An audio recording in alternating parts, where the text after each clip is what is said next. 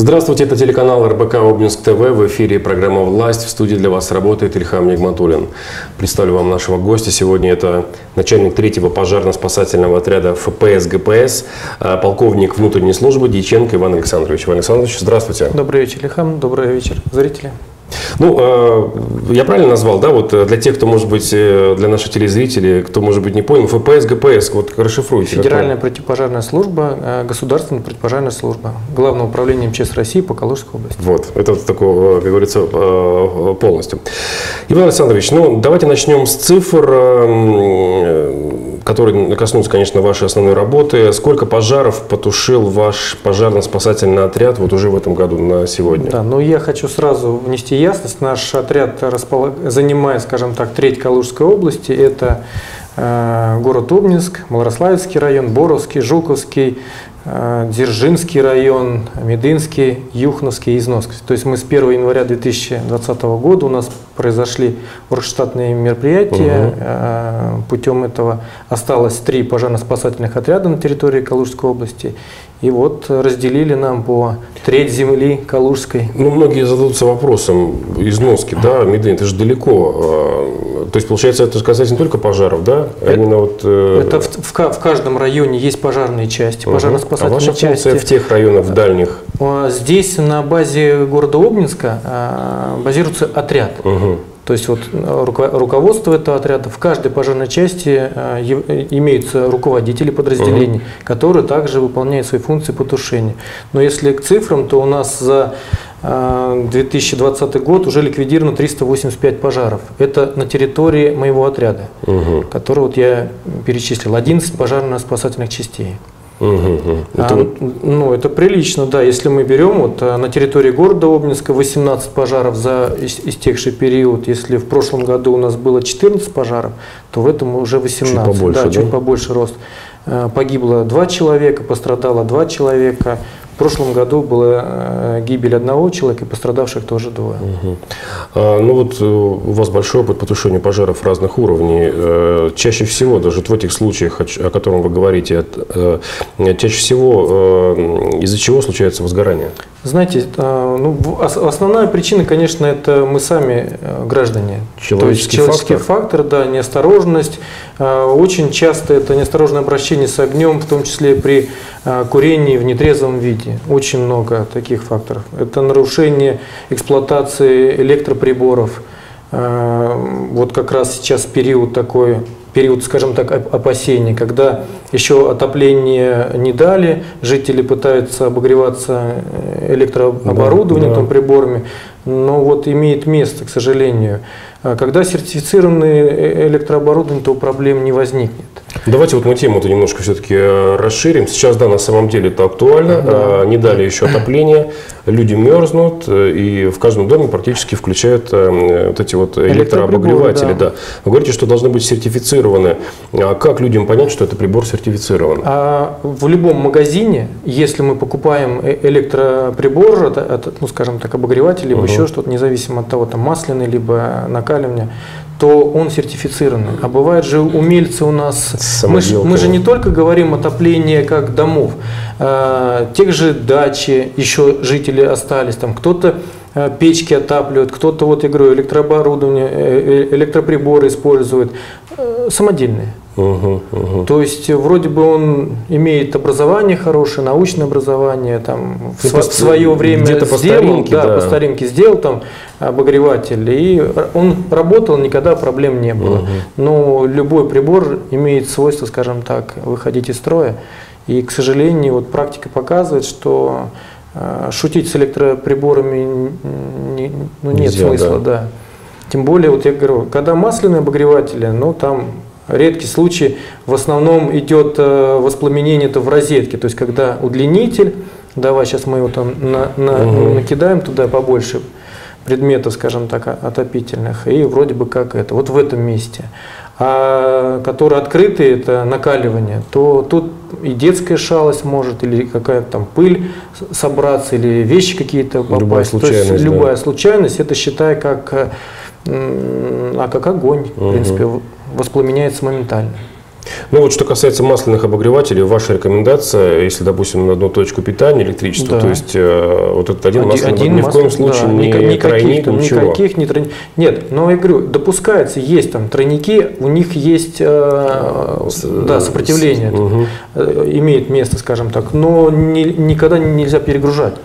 То есть, если проводка рассчитана на одну розетку и там один угу. участок. То есть, опять же, говорю, мы же понимаем, что можно туда и два, и три, и тому подобное. Да, может, все что угодно, в, там, допустим... в, в, в этот удлинитель и микроволновка, да, и чайник, да, да. и обогреватель, и все, все что угодно. Это чревато уже, да? Пока оно работает, оно не видно, оно же в стенке. А при напряжении, большом напряжении происходит нагревание. И вот этот элемент нагревания и выходит из строя. То есть э, впоследствии провода нагреваются и э, отпаиваются. Угу. Вот и происходит короткое замыкание. Ну и, наверное, ни в коем случае нельзя оставлять э, включенные. Обязательно, да. Эти, эти моменты, вот это даже как отче наш, как говорится. Угу. Ты уходишь, выключаешь. Все электроприборы должны быть под присмотром без разницы, на 5 минут, там, на одну секунду, за хлебом в нижний там, магазин спустился или еще что-то, обязательно выключайте. В этом году были лесные пожары? В этом году лесных пожаров как таковых... Ну, либо вот лесные, либо вот, может быть, пал травы. Пал травы, наверное, пал травы очень да? много, да. Но с, э, на нашей территории отряда лесных пожаров не было, обошлось. А, слава Богу. Да, слава Богу. Вообще, если мы говорим про лесные пожары, это страшно. Что это страшнее, лесные пожары или все-таки дома?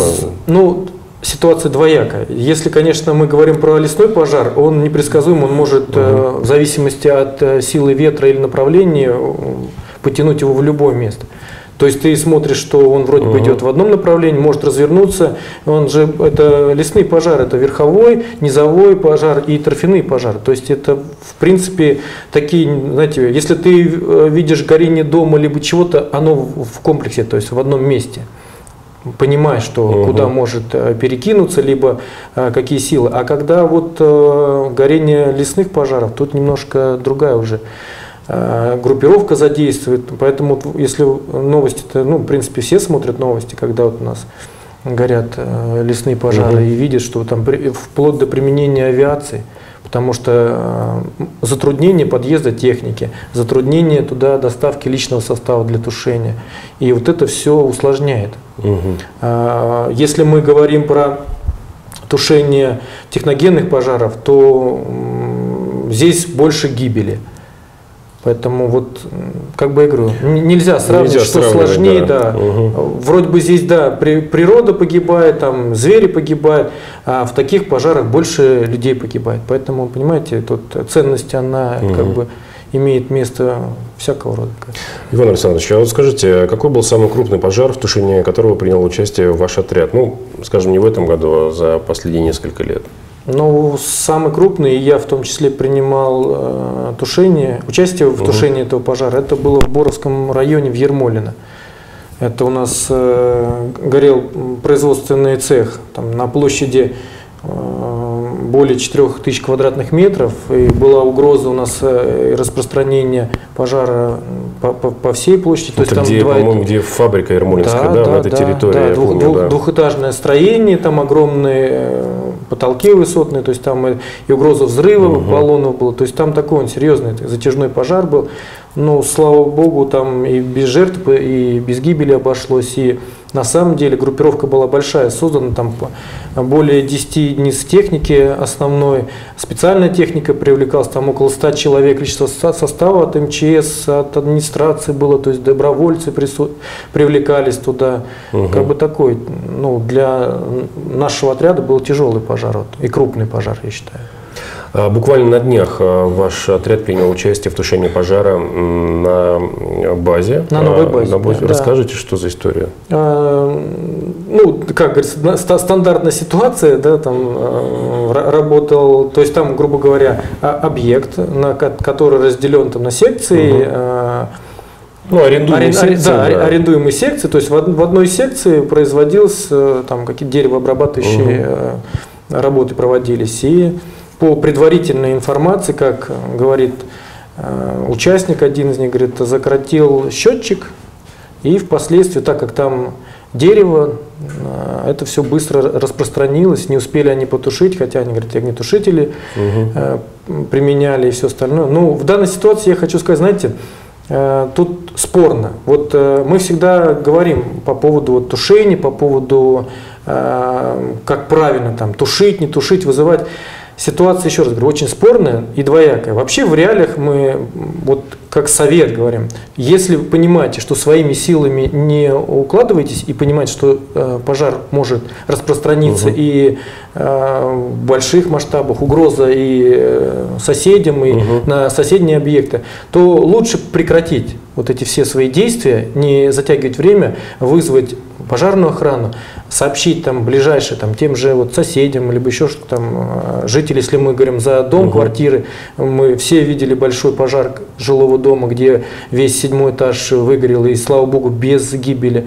Э, дом там тоже 4000 квадратных метров э, выгорел. И э, благодаря вот действиям, первоначальным действиям, Отсюда и происходит правильное тушение, правильное реагирование, сколько нужно сил и средств туда привлечь. И вот информация первоочередная, от этого все зависит. И здесь вот э, по повышенному номеру туда привлекли э, подразделения отряда и спецуправление 84, которое у нас в городе Обнинске базируется. Они молодцы тоже отреагировали, выслали. И спецтехника была, то есть я говорю, тут да, 10 единиц техники работало. Так. Я ты знаешь, что удалось минимизировать, минимизировать ущерб. Да? ущерб. Мы э, ограничили только в, в рамках одной секции, угу. остановили пожар. Хотя в соседнем боксе там находилось помещений с хранением картона и поддонов. Там дальше ущерб э, за счет того, что черный дым э, причинен помещение с, там, с продукцией, которая сейчас вот, ну, вроде бы, знаете, огнем не уничтожена, угу. а вот этим дымом продукция вся закопчена, ну, в дальнейшем ее использование, то есть запрещено ее угу, использование, угу. поэтому масштабы разные. Я говорю, тут первоочередное всегда это, конечно, человеческая жизнь. Потому что все остальное, оно наработается. А, напомню нашим телезрителям, что гость нашей программы сегодня начальник третьего пожарно-спасательного отряда ФПС ГПС, э, полковник внутренней службы Дьяченко Иван Александрович. Иван Александрович, э, следующий вопрос. Ну, вот что касается пожаров, э, тех выездов, которые в городе, вот сейчас очень много неорганизованных парковок. Как часто вам это мешало, мешает на выездах? Мне кажется, очень актуальный такой вопрос, потому что зачастую выезды загорожены автотранспортом. Совершенно верно, да. Но тут мы говорим и про парковки, которые внутри, двор... внутри дворовых, дворовые, да. да. А вообще это беда, это вот коллапс, по-другому не скажешь. Если еще в дневное время более-менее э, получается проехать, в ночное да, все перекрыто. В ночное перекрывает абсолютно все, вплоть до того, что мы вот э, э, когда реагируем, ну, вот там вечернее время, бывает такое, что там не то, что пожарная машина, там легковая не проедет. И каждый думает, что я там вот сейчас чуть-чуть там перепаркуюсь, угу. подъеду или еще что-то. Вообще сейчас идет такая программа, и, и в нашем городе будет э, вводиться, э, сейчас от, от э, города Москвы пошло, во всех, напротив каждого подъезда есть место для остановки спецтранспорта. Это мы не только говорим про пожарный автомобиль, скорую помощь и все остальное. А, отделена она красно-белой угу. разметкой. Это запрещающее, скажем так, место для парковки автомобилей. А, это, это как говорится, в, в, в, не в реале. На самом да, деле. А, в реале должно быть. Если мы немножко перейдем там, в западные страны, там с этим вообще очень все серьезно. Штрафы? Штрафы. Причем очень большие штрафы. У нас пока, знаете, э, вот не коснулось тебя самого, да и бог с ним. Я тут аккуратненько, вроде бы он там припарковался, машина должна угу. проехать легковая. Но правильно вы э, говорите, что спецтранспорт, он, к сожалению, для проездов шире. И не всегда можно подъехать и правильно э, расставить спецтранспорт. Это мы говорим уже даже не про автоцистерну, у которой есть пожарные рукава, которые угу. там могут проложить, а именно про спасение э, с верхних этажей, это используют автолестницы. Если мы э, не выставим ее правильно, то автолестница потом грош ей, угу. цена, как говорится. Ну вот э, сейчас во многих домах, в многие придомовые территории огораживают, э, огораживают, ставят шлагбаум, сажают охрану. А как вы относитесь к таким инициативам жителей? Знаете, если, вот как вы говорите, если это э, шлагбаум с охранником, то в принципе ничего плохого здесь Наоборот, здесь все упорядочено, да, наверное. наоборот, да, вот правильно говорите, все упорядочено. А когда это устанавливаешь шлагбаум для въезда на территорию и говорят, что там мы, чтобы лишнего транспорта либо не было, еще что-то. цепочка с да, либо замком. цепочка. Но цепочка, она не ограничивает. То есть, понятно, мы подъехали, мы можем ее там отрезать, Ну либо да. еще. Хотя это получается тоже тут спорная ситуация, что вроде бы как э, ча- частное владение, как они позиционируют себя с этой стороны. А, но время затрачивается, лишнее время, да, для прибытия, для, прибытия, да. Вот мы э, говорили о технике. Расскажите вот поподробнее э, в Обнинске, какая техника, то есть вот способна потушить квартиры на последних этажах высоток? Да, способна. У нас на, э, в пожарных подразделениях э, используется высотная техника. Это автолестницы 50-метровые. э, И, и практически мы отрабатываем эти моменты. Но ее, скажем так, максимальная э, длина 50 метров. То есть мы, если раз- это раз- разделим- по этажам, это как- Сем- 17 этаж. 17 Да, этаж. 17 этаж, максимально 17 этаж. То есть, понятно, сейчас встречный вопрос скажет, ну у нас же тут есть и 22-этажный, то есть вот эти 4 этажа там это. Но есть определенный, скажем так, э, застройщик, он уже предусмотрел эти моменты. Э, Дома строятся с незадымляемыми лестничными клетками.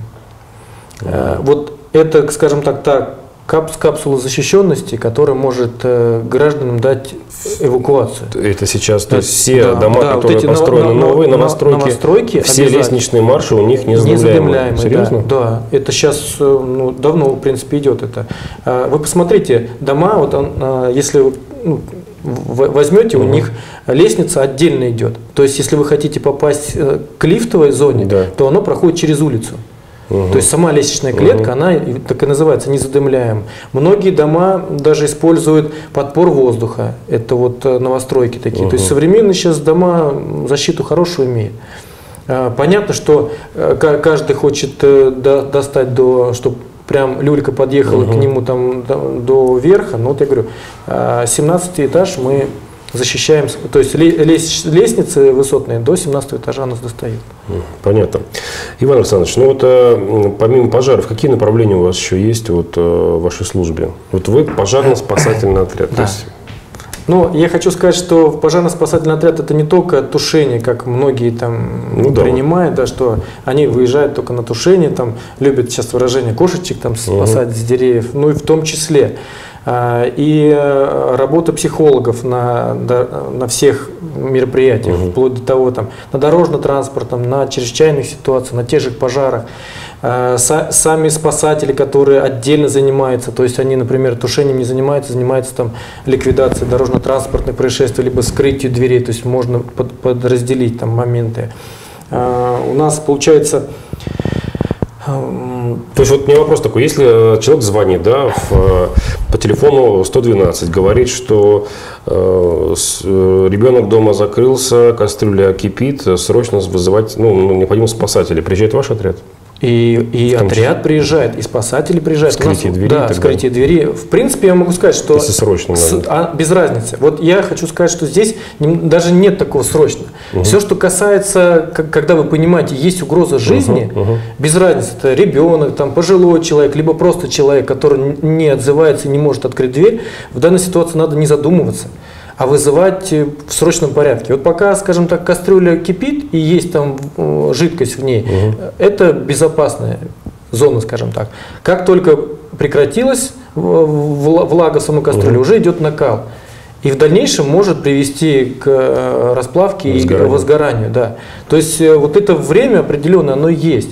Если нет возможности туда попасть, и, и вы понимаете, что э, пожарные подразделения там, в течение 10 минут приедут и вскроют, даже если это будет там, не знаю, там, ущерб двери, но э, в данной ситуации, еще раз говорю, человеческая жизнь, она важнее. Вот как бы там ни было. Бывают ситуации, там граждане смотрят задымление. Вот я говорю, подъезды, курение, там ок- окурки попадают у нас в наши вот эти трубопроводы, так называемые мусорные. Идет задымление подъезда. Никто не понимает откуда. Не надо, если вы, еще раз говорю, если вы не нашли причину и не можете сами ее ликвидировать в кратчайшие сроки, значит надо не задумываться, вызывать. Потому что дальнейшее распространение или дальнейшая угроза может элементарно. Вот э, на, э, весь дым он скапливается на верхних этажах. Мы же не знаем, кто там живет. Угу. Окажется, что какой-нибудь пожилой человек, который вот э, в реалиях оказался заложником вот этой ситуации, и дым воздействовал на его дыхательные пути и гибель привел.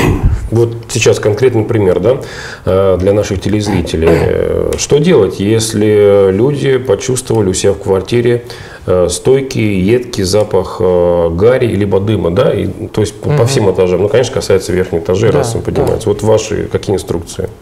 А, в первую очередь никакой паники.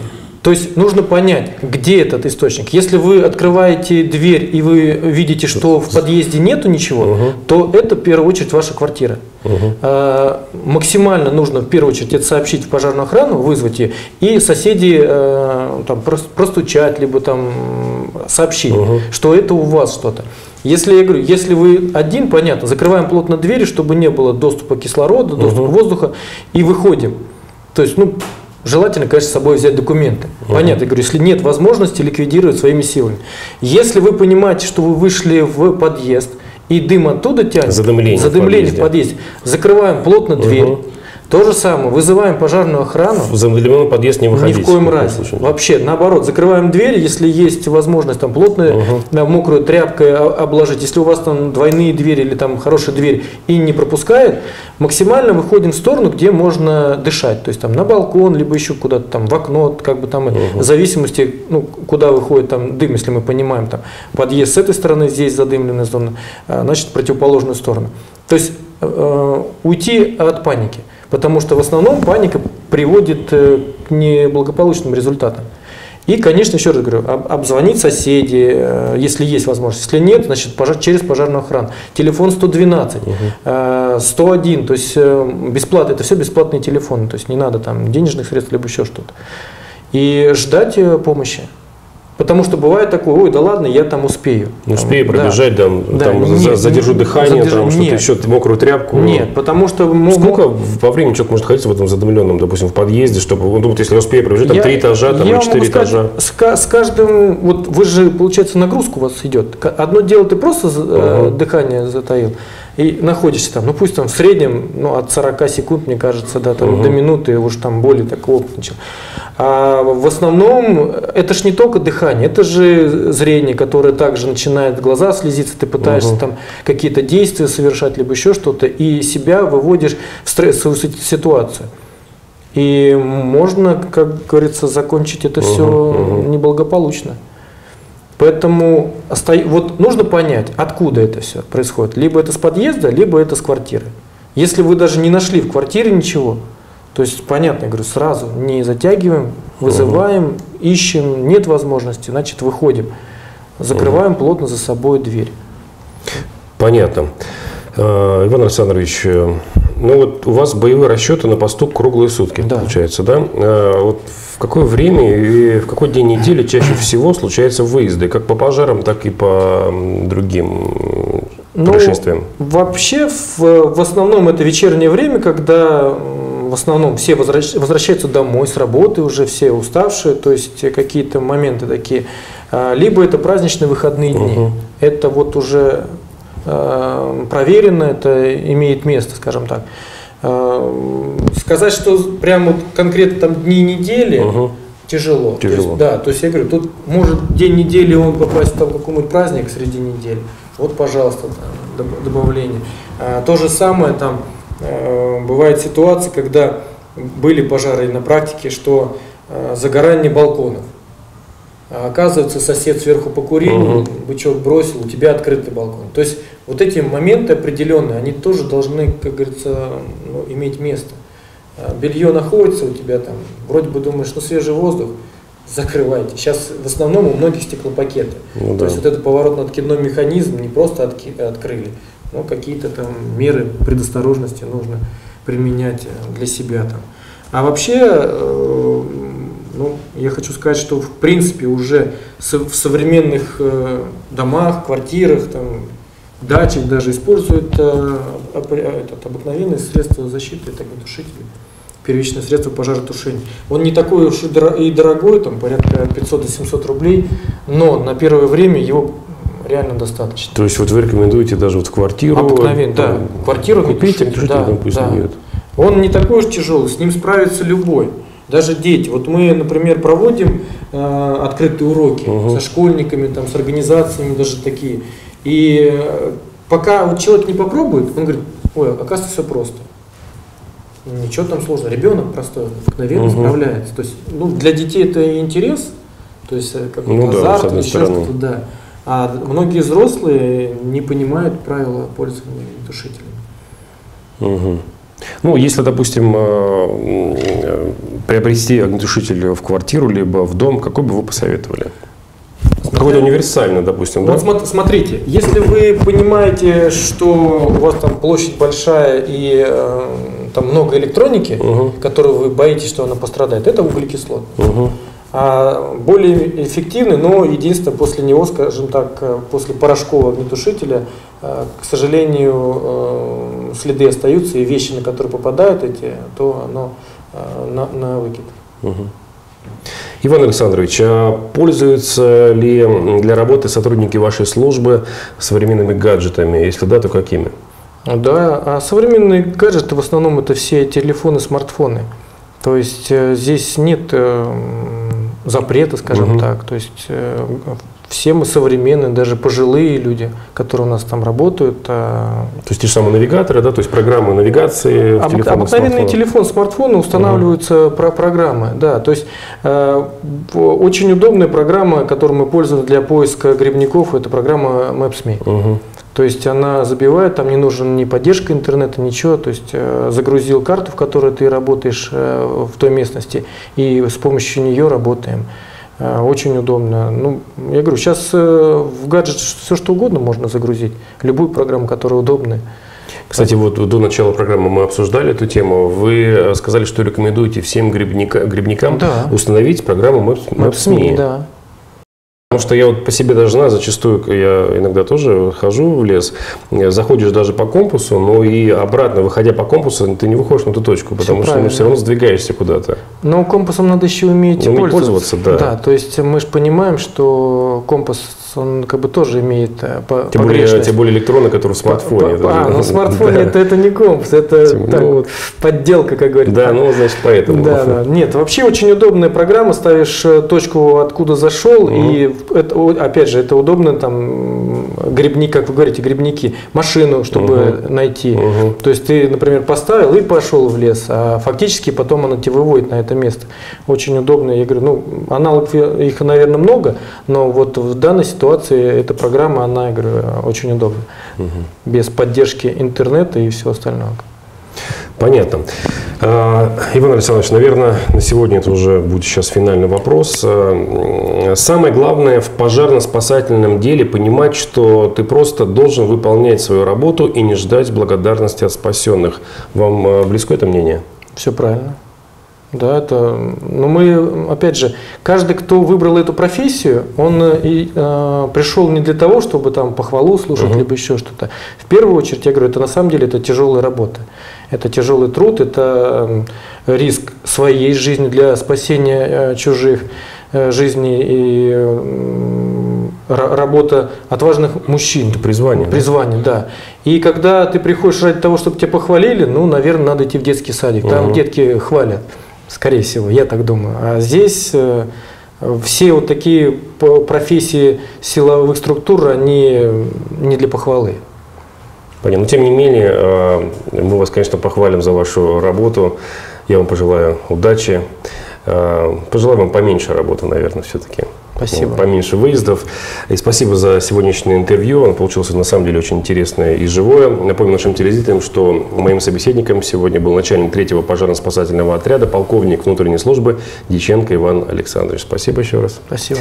Это была программа «Власть». Смотрите нас каждый вторник и четверг, 19.20 на телеканале РБК Обнинск ТВ. Всего доброго. До свидания.